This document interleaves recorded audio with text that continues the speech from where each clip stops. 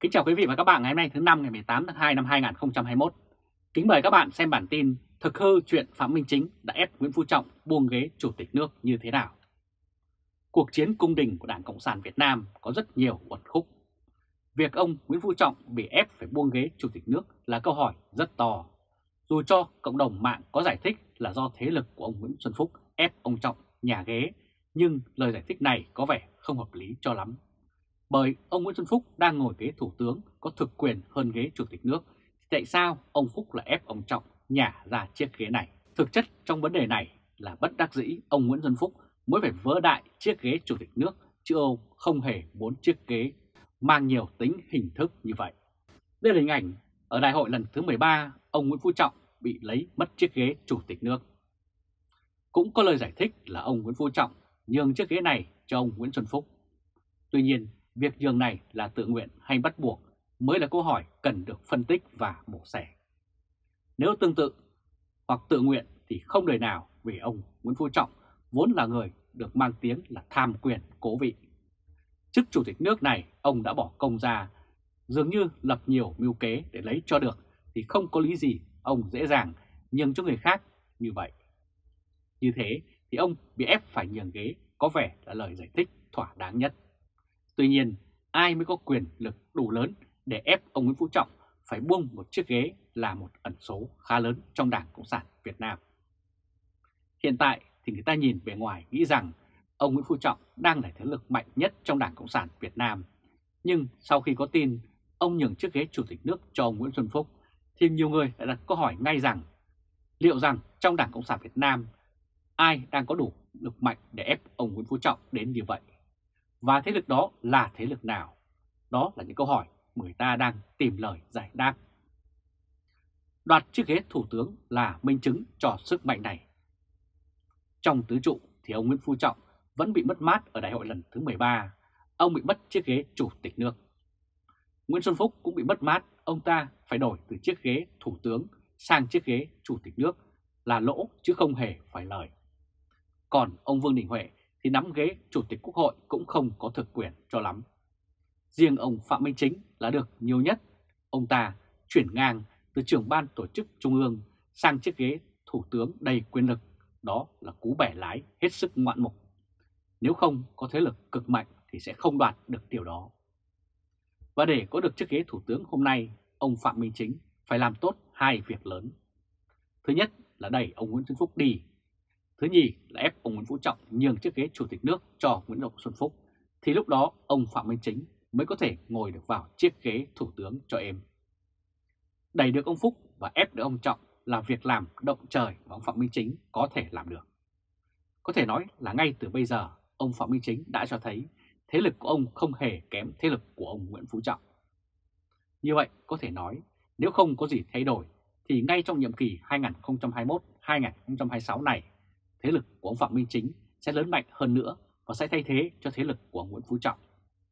Thế lực ông Nguyễn Phú Trọng thì bắt đầu xuống dốc vì đó là điều có thể nhìn thấy được, đặc biệt là qua tình trạng sức khỏe hết sức yếu ớt của ông Nguyễn Phú Trọng trong thời gian vừa qua. Và tách chức Tổng Bí Thư và Chủ tịch nước là chuyện làm rất khó, ấy vậy mà ông Phạm Minh Chính tách được. Phạm Minh Chính là một người được biết là khá thông minh Cách hành xử của ông ta trong thời gian vừa qua cho thấy ông đang tìm kiếm vị thế số 1 trong Đảng Cộng sản Việt Nam hiện nay và ngay cả cho tương lai. Đây là hình ảnh hiện nay có thể nói ông Phạm Minh Chính là số 1 trong Đảng chứ không phải là ông Nguyễn Phú Trọng. Ông Phạm Minh Chính đã chuẩn bị cho ngày hôm nay từ rất sớm. Từ khi ông bắt đầu rời Bộ Công an, ông Phạm Minh Chính đã tích lũy di sản cả về thực tiễn khi nắm chức Bí thư tỉnh Quảng Ninh và kể từ đó vốn chính trị của ông lớn mạnh rất nhanh. Ông Phạm Minh Chính đang muốn gây dấu ấn của mình trong Đảng Cộng sản Việt Nam với vai trò là Thủ tướng. Với ông Nguyễn Phú Trọng là tấm gương đi trước, rất có thể ông Phạm Minh Chính sẽ tiếp bước đi sau tạo nên một thế lực độc tôn trong đảng mà không có gì có thể cản nổi. Và ông Phạm Minh Chính cần gây dựng sức mạnh từ đâu cũng là câu hỏi được dư luận đặt ra. Ông Nguyễn Phú Trọng xây dựng được thế lực như hôm nay cũng là nhờ ông có một quan hệ rất tốt với ông Tập Cảnh Bình. Cho đến giờ, ông Nguyễn Phú Trọng đã ký tới 27 văn kiện bí mật với ông Tập Cảnh Bình. Điều này làm cho Bắc Kinh khá hài lòng. Cho đến trước đại hội lần thứ 13, có thể nói ông Nguyễn Phú Trọng là người đã tạo ra mối quan hệ tốt với Trung Quốc nhất. Mà người nào được Trung Quốc tín nhiệm thì người đó rõ ràng có ưu thế trên con đường quan lộ. Bắt đầu từ dự án đặc khu kinh tế Vân Đồn dưới thời ông Phạm Minh Chính làm bí thư, ông không thể bỏ lỡ dự án này vì nó là con đường kết nối với bí thư tỉnh ủy với phía Trung Quốc. Một cơ hội tìm kiếm mối quan hệ không phải ai cũng có được. Tờ báo Quảng Ninh của cơ quan tỉnh ủy Quảng Ninh vào ngày 19 tháng 3 năm 2014 cũng đăng một bài phỏng vấn bà giáo sư Đào về khả năng có thể thành đặc khu kinh tế ở khu vực Vân Đồn. Khả năng gì? Tại sao lại lấy thẩm quyến là tấm gương cho Vân Đồn nói theo đến như vậy?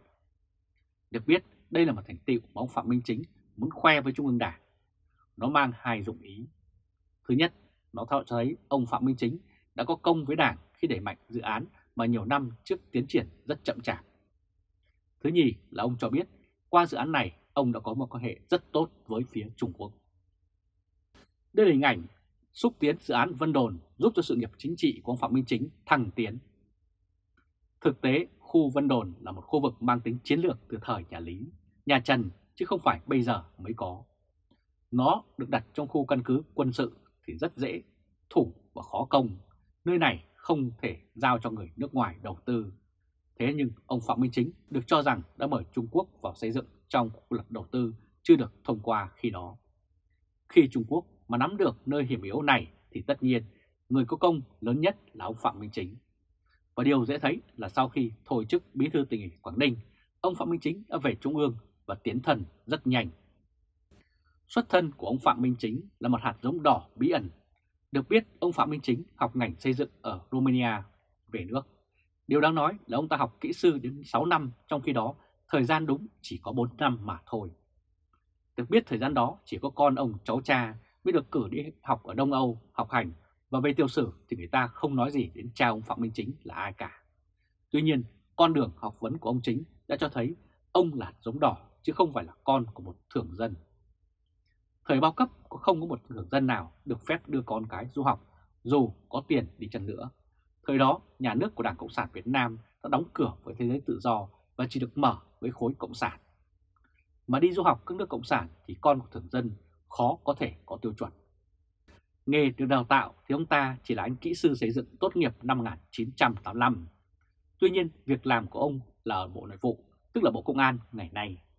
Vào năm 2006, ông Phạm Minh Chính được bổ nhiệm làm Phó Tổng cục trưởng Tổng cục Tình báo của Bộ Công an. Nghĩa là ông là con người của ngành tình báo, một ngành rất dễ bắt liên lạc với tình báo nước ngoài. Đây là hình ảnh ông Phạm Minh Chính, một hạt giống đỏ hết sức bí ẩn. Vào năm 2007 được lên thiếu tướng, và năm 2010 đã lên trung tướng và được phong Thứ trưởng Bộ Công an. Bước ngoặt của sự nghiệp là từ năm 2011, khi ông ta được trúng cử Ủy viên Trung ương Đảng khóa 11, ông ta về làm Bí thư tỉnh ủy Quảng Ninh, thì ông ta bắt đầu kể vai sát cánh với phía Trung Quốc xây dựng đặc khu kinh tế Vân Đồn. Lịch sử từ ngàn đời xưa đã đánh giá như sau, nếu mất Vân Đồn là mất Vịnh Hạ Long là mất nước. Vị trí chiến lược như thế mà mở cửa cho Trung Quốc là cánh bạc hết sức mạo hiểm của Đảng Cộng sản Việt Nam. Tuy nhiên, nhờ vào cánh bạc này mà ông Phạm Minh Chính vào Trung ương ủy viên và tiến thân rất tốt cho đến nay. Và ông Phạm Minh Chính đã kết nối với Bắc Kinh qua những ai câu hỏi cũng được dư luận đặt ra. Trên trang web của Trung tâm Nghiên cứu Đặc khu Kinh tế Trung Quốc thuộc trường Đại học Thẩm Quyến vào ngày 14 tháng 3 năm 2013 đăng bản tin như sau. Vào ngày 19 tháng 1 năm 2013, tỉnh ủy Quảng Ninh đã mời 5 chuyên gia của Trung Quốc, trong đó có bà giáo sư Đào Nhất Đào sang Quảng Ninh dự hội thảo khoa học về đặc khu kinh tế. Các hình ảnh ông Phạm Minh Chính và bà Đào Nhất Đào kề vai sát cánh bên nhau để xây dựng đặc khu kinh tế Vân Đồn. Tại đây, bà Đào Nhất Đào đã dành những lời nhận xét khá yêu ái khi trả lời phóng viên báo Quảng Ninh về tiềm năng phát triển của đặc khu Vân Đồn như sau. Theo đánh giá của tôi, Vân Đồn hiện có những điều kiện thuận lợi hơn thẩm quyến ngày trước rất nhiều. Vân Đồn thuộc tỉnh Quảng Ninh nằm trong tam giác kinh tế phía Bắc, có những điều kiện thuận lợi về thời tiết, địa lợi và ưu thế đi sau, hiện chỉ còn thiếu nhân hòa. Đáng chú ý là bà Đào Nhất Đào là cố vấn, kiến trúc sư trưởng của chiến lược Một Vành Đai, Một Con Đường của ông Chủ tịch Trung Quốc Tập Cảnh Bình. Những chuyên gia kinh tế gọi nhận định đây là chiến lược có tham vọng nhân rộng ra các nước ở châu Á. rất nhiều các nhà nghiên cứu chính trị kinh tế trên thế giới đã đưa ra những quan ngại về ảnh hưởng của chiến dịch chiến lược vành đai và con đường đối với những quốc gia nó liên kết. Đây là hình ảnh bà Đào Nhất Đào và ông Phạm Minh Chính. Trung tâm Nghiên cứu Quốc phòng cấp cao có trụ sở ở thủ đô Washington, Mỹ, nhận định trong một báo cáo vào ngày 17 tháng 4 rằng vành đai và con đường của Bắc Kinh là thật ra nhằm mục đích phục vụ cho mở rộng ảnh hưởng chính trị và sự hiện diện quân sự của Trung Quốc.